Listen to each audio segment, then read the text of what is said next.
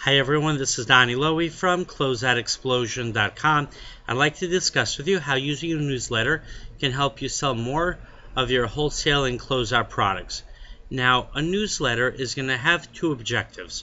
The first objective is going to be to actually sell your products, and the second objective, which is just as important, is going to be to engage your customer and to develop a relationship with your customer. It's going to be primarily through that relationship where you're going to make most of your sales. So you can have a newsletter, and in the newsletter, you can highlight, let's say, brand name dresses which you're looking to sell. And a customer might respond and might buy the dresses from you, which is great. But what you really want to do that newsletter is develop a relationship where you show the customer that you really care about them and that you're giving the customer a lot of good, useful information which they can help, you know, build their business with and they can make money with.